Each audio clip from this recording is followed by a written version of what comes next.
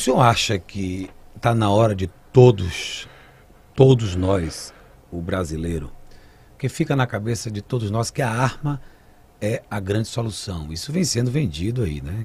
Compre uma arma, pegue uma arma, coloque uma arma na cintura, mate, faça, aconteça, e isso vem crescendo de uma forma assustadora.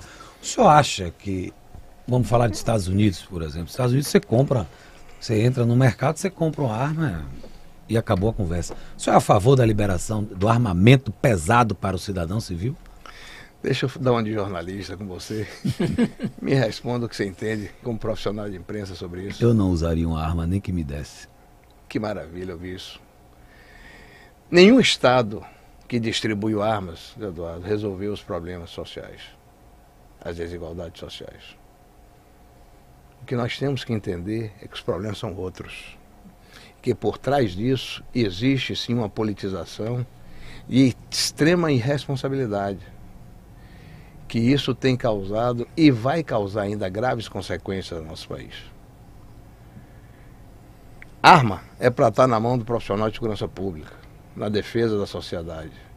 Arma é para estar sendo utilizada por atiradores civis como prática de um esporte, mas não está na mão das pessoas. Eu vou lhe dar um exemplo que eu vivenciei. Na década de 90, eu fui designado para uma missão internacional e fui para a América Central. O país é o Salvador da América Central.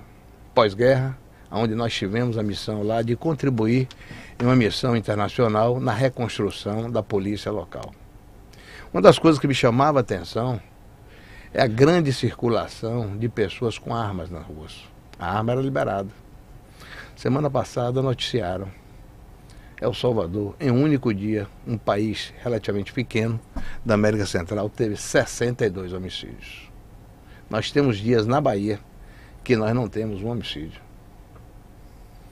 Se, se você me perguntar, comandante, como é que está a média a nível de Estado? 12. Nós temos 15 milhões de habitantes. Então eu faço esse comparativo de uma maneira fática que um local que eu vivenciei.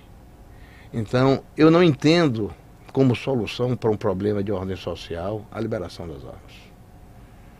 Né? Respeito quem defende esse posicionamento, vivo em uma sociedade que a democracia tem que imperar, mas eu tenho um posicionamento muito claro que a arma tem que estar na mão de pessoas responsáveis, sobretudo de a gente pagar um preço muito alto.